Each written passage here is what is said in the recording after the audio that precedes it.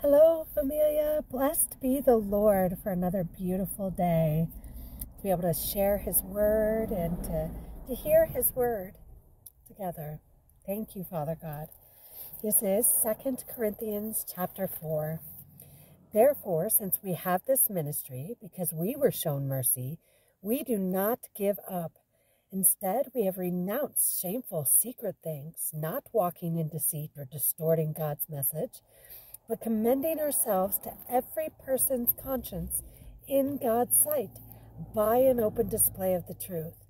But if our gospel is veiled, it is veiled to those who are perishing. In their case, the God of this age has blinded the minds of the unbelievers so they cannot see the light of the gospel of the glory of Christ, who is the image of God. For we are not proclaiming ourselves, but Jesus Christ as Lord and ourselves as your slaves because of Jesus. For God, who said, Let light shine out of the darkness, has shown in our hearts to give the light of the knowledge of God's glory in the face of Jesus Christ. Now we have this treasure in clay jars so that this extraordinary power may be from God and not from us. We are pressured in every way, but not crushed. We are perplexed, but not in despair. We are persecuted, but not abandoned. We are struck down, but not destroyed. We always carry the death of Jesus in our body so that the life of Jesus may also be revealed in our body. For we who live are always given over to death because of Jesus, so that Jesus Jesus' life may also be revealed in our mortal flesh.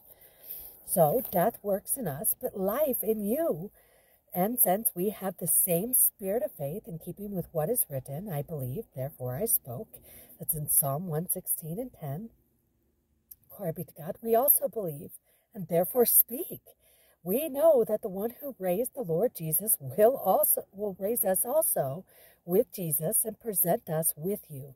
Indeed, Everything is for your benefit, so that grace extended through more and more people may cause thanksgiving to increase to God's glory.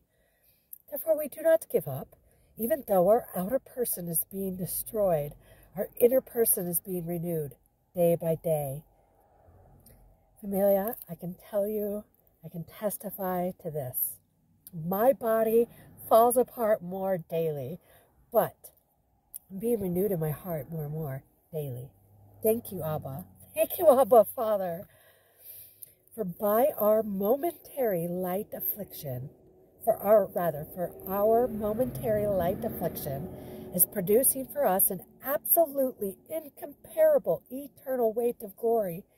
So we do not focus on what is seen, but on what is unseen.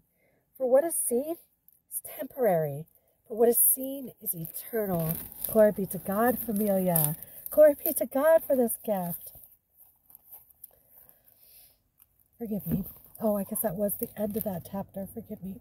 For what is seen is temporary, but what is seen is eternal.